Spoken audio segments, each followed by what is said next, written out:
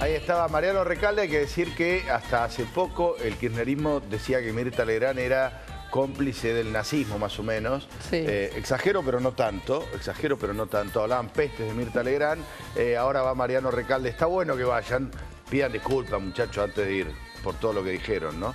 Bueno, pero ahí está Mariano Recalde hablando de espectáculos o cruzado con eso. Sí, obviamente metió de lleno en el tema de Vicky Cipolitaki, que desde el viernes eh, no, no, no para. Vicky, que ahora está deprimida, según, eh, según lo que ella publicó a través de un comunicado vía Twitter, está deprimida en su casa encerrada, llorando todo el tiempo, para raíz ¿no? de las repercusiones que, que trajo justamente el vuelo del escándalo. A ver, más allá de la depresión de Vicky, Vicky está así por un tema también judicial. Recordemos que ella fue eh, denunciada penalmente por la empresa el viernes pasado, no solamente contra ella, sino también contra los dos pilotos acusados, ¿no? Que estaban participando de ese video. Y hubo, Y- hubo algo sobre eso, hubo algo que hay que apuntar importante. Un allanamiento ordenado por la justicia a la casa de los pilotos. Es ¿Qué una podían pavada, encontrar? Una pavada tan, tan, Sí. tan notoria. Una más de las Ayer que había, hacen, había ¿no? un No- tuit muy gracioso de alguien que escribía, che, en el allanamiento de la casa de los pilotos, ¿qué esperaban encontrar?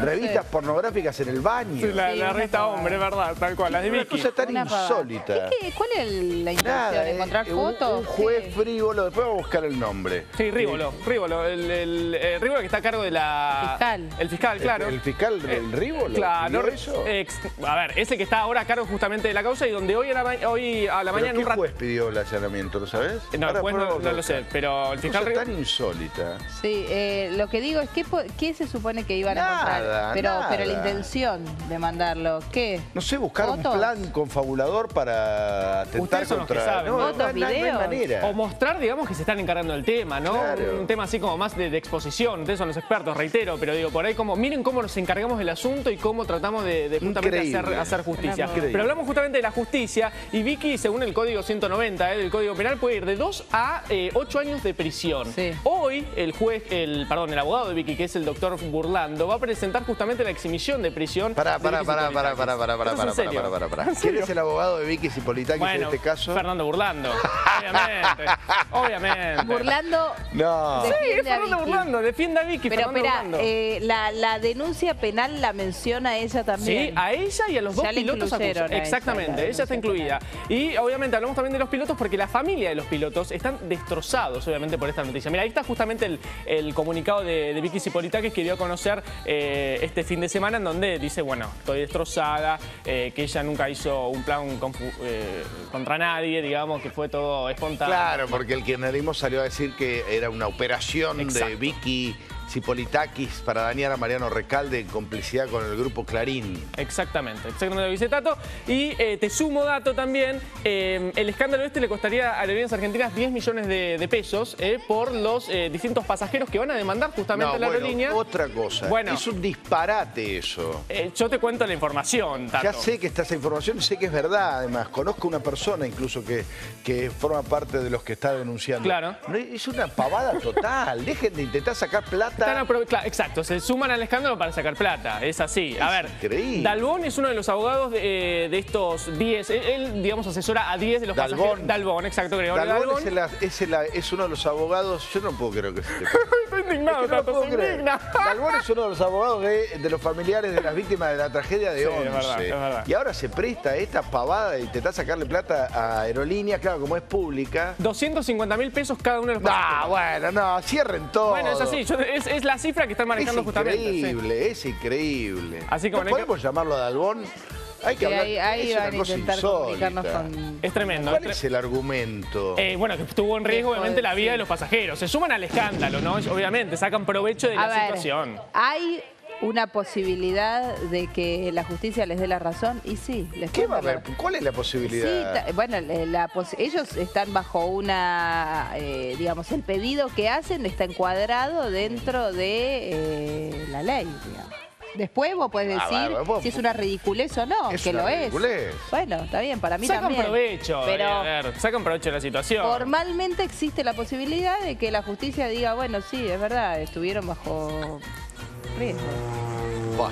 Ahí está, ahí pasa de vuelta. Pasan los aviones. Y saben que se conoció un video cortito también de Vicky antes de toda esta polémica, en donde subía al avión y uno de los, eh, de los pasajeros justamente le pedía un saludo para, creo que era Ricardo o Juancito. le- bueno, está, está ahí subido que le piden un saludito. Antes de entrar a la cabina le piden, por favor, mandame un, un saludito para, para Ricardo o Para, Juancito. no algo de el las familias, las mamás del colegio que tanto le preocupaban Sí. a Tato, ¿qué le decían al papá de los chicos? Ay, que no lo sé, esa, esa data ya no la La tengo. directora de jardín de infantes. Genial. No, horrible, horrible. Aparte, uno de los pilotos...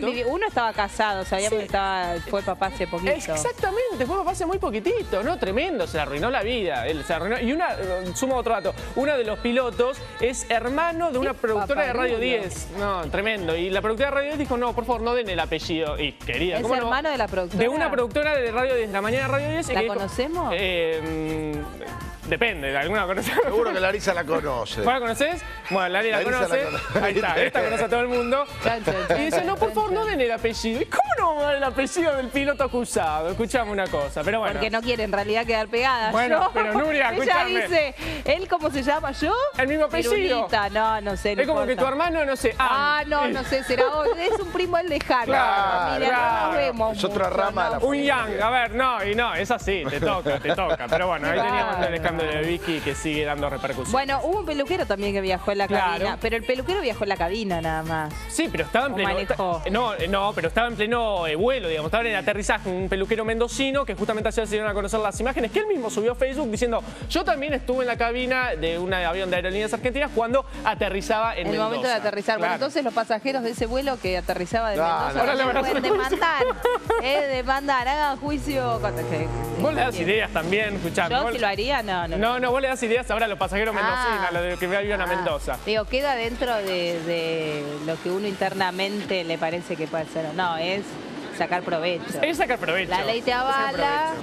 pero es ¿Pero sacar qué es la ley te avala? Porque se puede presentar una denuncia, quiere decir que haya que hacerla. Y Bueno, está hay, claro, hay responsabilidades éticas. bueno, claro, la son responsabilidad abogados, no son, de cada este, uno. Son 250.000. extraterrestres. Tienen que tener una, una mínima responsabilidad. Es que lo comparto totalmente. Ahora, Ahí está, es el. si quieren pueden hacerlo. Por supuesto que pueden, pero hay que decir que es una chantada. Bueno, esto fue justamente aterrizando en Mendoza, chicos. ¿eh? A ver, lo que muestra ¿Por qué no llamamos a tu amigo que conoces, el que va a cobrar? eh, No, que porque no, estoy- no, no es un amigo, es un, lo cono- sé de una persona que debe ser cliente de este. Pero me parece, un- me parece una pavada. ¿Y no le podemos preguntar horror. para conversar No, esto? Que lo lleva, que- ¿Dónde está su ética? No, bueno, pues, eh, es un tema. Yo creo que hay que hablar con. Hay que, eh, a ver, hay, hay códigos éticos que me parece que hay que respetar.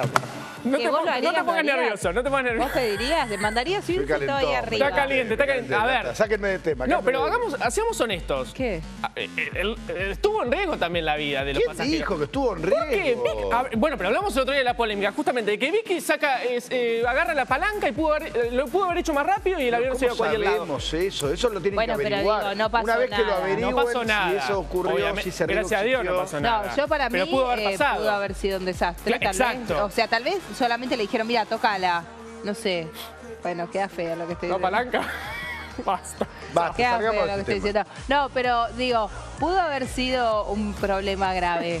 Eh, lo cierto es que no ocurrió. Por suerte no ocurrió, pero pudo haber sido, eso voy. Bueno, Entonces, bueno, pero y- si no ocurrió y fue algo más, una, una pavada, una idiotez como lo que ocurrió. bueno, que pero no- estamos todos hablando de este tema porque ju- Sí, pero teóricamente... no demandaría, no demandaría. Bueno, ¿Vos demandarías? vos sos vos. ¿Vos demandarías? Si estuvo en riesgo mi vida, sí. ¿Qué sabés si estuvo en riesgo tu vida? Primero. Pero Tatito, ¿por qué sale todo este eso. escándalo? Porque Vicky estuvo en la cabina y porque pudo haber sido una tragedia, no solamente Estoy- porque Vicky ver, estuvo ahí Es adentro. un escándalo que haya estado Vicky ahí, estamos de acuerdo. Ahora de ahí a que los pasajeros, cuyo, eh, que no sufrieron ningún daño probado ni, ni sugerido, vayan a hacer una demanda de 250 mil pesos contra aerolíneas argentinas, es una chantada, porque no hay ningún daño probado, tiene que probarse un daño. ¿Cuál es el, Es verdad. el daño que sufrió ese pasajero que ni se enteró que estaba Vicky Cipolitakis paveando con los pilotos en la cabina? Está bien, pero después se enteró. Después se ¿Y, se- enteró. y qué, y qué- cuál es el daño que a él le provocó eso? Bueno, eso lo determinará la justicia. Ahora, yo no quiero ver que después la justicia le dé la indemnización a cada uno de los pasajeros. Ahí vamos Bueno, a la ver. justicia ¿Qué? allanó la casa de los dos pilotos. Bueno, ¿Qué? Sí, que hay que lo esperar cualquier. No, cosa. no sé, yo no, no tengo ni idea, pero No, no sé, pero está. ha pedido, y tanto le ha costado a las familias de víctimas de, la, de Cromañón, Sí. eh, cobrar eh, eh, la indemnización por y, y escasa en muchos casos y que obviamente no alcanzó a cubrir el, el dolor provocado.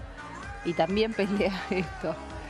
Por Digo, eso, una ¿con cosa qué- seria y otra cosa... Bueno, con Igual no qué creo que llegue a ningún. No, no va a llegar a mide? nada, me parece. No, no va a llegar a Claramente no va a llegar a nada. supongo que no. ¿Qué sé yo? Bueno, ¿qué...? Pasar. te da la vida, Tommy. Sorpresas. Bueno, Salgamos. Sí, salgamos. Bueno, basta, porque tanto está re caliente y tengo Sí. miedo. Mira, tengo miedo de que revolé la, carpe, la, la, la tablet. La- bueno, vamos, cam- cambiamos de tema. ¿Qué quieren Sí. ir? hablemos de Maxi. Dale, vamos con Maxi López. Muy bien, Maxi Sí, la López. mostramos a Wanda en una situación que todos la criticaron, así que vamos a ser justos, mostremos a Muy ¿Qué bien? Nuria. Claro que sí, porque a Wanda la mostramos con unos kilitos de más. Ahora vamos a escrecharlo a Maxi López, el ex de Wanda Nara, que eh, este fin de semana tuvo como unas fotos polémicas. No solamente porque está un poquito pasado de, de- de peso, obviamente, siendo futbolista, ¿no? Siendo futbolista profesional, sino que también se lo ve fumando, ¿eh? Increíblemente se lo ve fumando. Dios. Cuando recordemos que él es un jugador todavía que está en actividad, que está jugando en Italia y que eh, teóricamente tiene una. es titular, ¿no? De un, de un gran equipo italiano.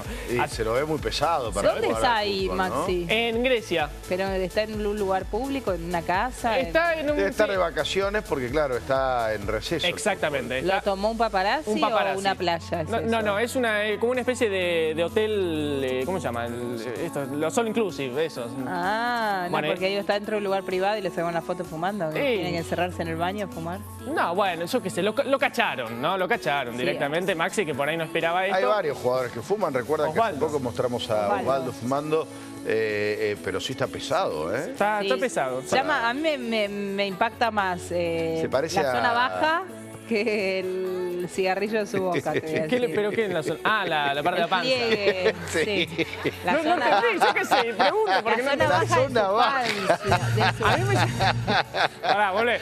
¿Por qué no? No, yo sé lo que Pará, dijo Nuria, claro, abdominales pará. altos, abdominales bajos. Me Para, refiero a para esos los cinco de la abdominales. semana, por Me voy a mover un segundo, ¿eh? Me voy a mover un segundo. Porque Abdominales altos, Esto es lo que abdominales dice- bajos. miren. Este pliegue, mirá lo que es esto. Claro. No, y el Claro. color, mirá el color. ¿Ves? Sí. Está mal tostado. No, por eso no ¿Qué le pasa pasó? Nada. Esto, lo de abajo del ombligo es... Cuando Mató. es así, ay, Ay, Dios mío, preocupate. me vuelvo, me vuelvo al lugar. De eso no Qué sé si lunes, se vuelve, qué lunes, ¿eh? De Dios eso no mío. sé si se vuelve. Espero que sí, que vuelva, porque Maxi tiene que seguir pagando la cuota alimentaria de los hijos, así que por favor no, que se ve vuelva. que no le paga la cuota alimentaria, pero, él se a él sí se la está pagando. ahí está, la plata ahí está. ¿Ven Ahí dónde va? está. Dios mío. Bueno, Bueno, sí. ¿qué pasa? ¿Qué cambios se vienen en Canal 13 y en Telefe? Bueno, cambios. Antes que, voy- de que decir los cambios, digo, usted no se puede mover de banda 3.0, porque los cambios son a la mañana, pero Sí. nosotros no cambiamos, así que de- recién a las 10 me cambia de canal, ¿eh? si no antes no. Vamos con los cambios en la mañana de Telefe, claro. Entonces no los vemos, si son a No, la mañana tenés no los razón, vemos. no, ¿para Tigre, no, no.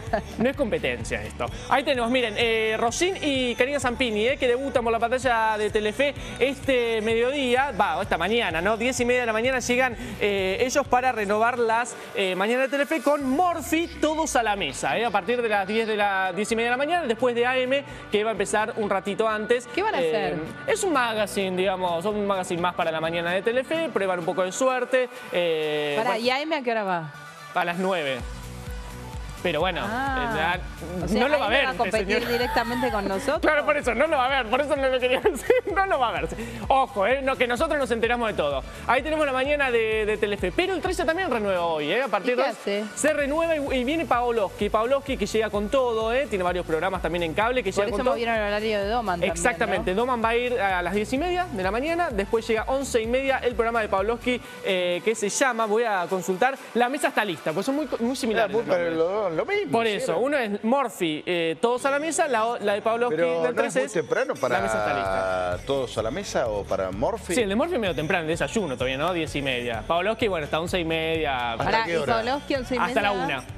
A una. Hasta la una que viene el Noti 13 directamente para... para... Pará, ¿y sacaron el zorro? No, el zorro va a ir eh, antes de Doman, va a ir desde... de 10 a 10 y media. de- sí, de 10 a 10 y media, Panam va a estar antes. Bueno, es un enroque Ahora, el, el de Doman se suponía que lo iban a sacar, Sí, el de evidentemente. Doman, mira, hace mucho tiempo diciendo que lo van a sacar, porque lo van a sacar. mal, mide mide bastante mal. lo que lo banca es la productora, ¿no? Pero en el Bemol lo último banca. tiempo mejoró la medición de No. Doman. No, no, la verdad que no. No, nunca levantó. Mide, levanta. mide menos que el zorro. Sí, sí, tal cual. Bueno. El, eh, Eh, ¿Van a es de- es comer? de Endemol, ¿no? Los dos son de Endemol. Exactamente, son de Endemol. Escúchame, ¿van a comer en el de Poloski? Sí, van a comer, claro. Sí, sí, sí, van a comer. Y sí, un magazine del mediodía tiene que sí o sí tener cocina, ¿viste? Así que bueno, a Pavlovsky, buen equipo. Ahí estamos viendo. Hoy parte del equipo está eh, Chatruc, que es como el, digamos, la mano José derecha de Chatruc él. Sí, era jugador de Racing. Chatruc. Exactamente, que lo Campeón acompañó en el 2001. en pura química, en todos lados. Después tenemos a Gonzalito, él de CQC, Rulo también de CQC, Jay Mamón y la incorporación de María Julia Oliván, que la sacaron de Intratables, justamente, eh, que estuvo nominada encima como mejor labor periodística por Intratables y que ahora va a debutar en la mañana del 13. eh, un nuevo desafío para María Julia que